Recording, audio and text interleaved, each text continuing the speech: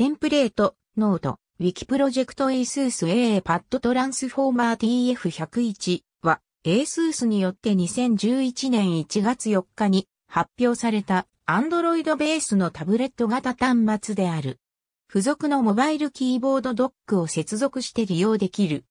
タッチパネル液晶は1280800ドット表示の10.1型ワイド LED IPS 液晶を搭載しており、ゴリラガラスを採用している。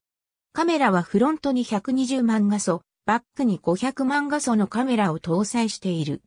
センサーは電子コンパス、光センサー、加速度センサー、ジャイロスコープ、GPS を搭載している。モバイルキーボードドックは87キーの日本語、キーボード、マルチタッチ対応のタッチパッド、USB 2.0ポートを2つ装備している。タブレット側とは別にマイクロ SD、マイクロ SDHC、マルチメディア用、カードリーダーも搭載されている。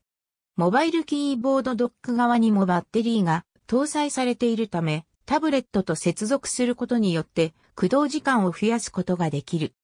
発売当時のオペレーティングシステムは Android 3.0であったが、2011年7月26日に Android 3.1へのアップデートが配信された。さらに、2011年10月19日に、Android 3.21へのアップデートが配信されている。ASUS は、スライドキーボードを一体化させた AA パッドスライダー SL101 を2011年10月4日に発表、10月8日に日本で発売された。質量は 960g。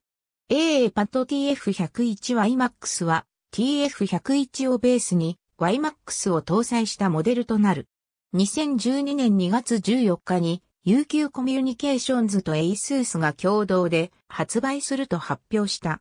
発売は2012年2月25日となっている。ASUS は ASUS AA Pad TF201 を2011年10月19日に発表した。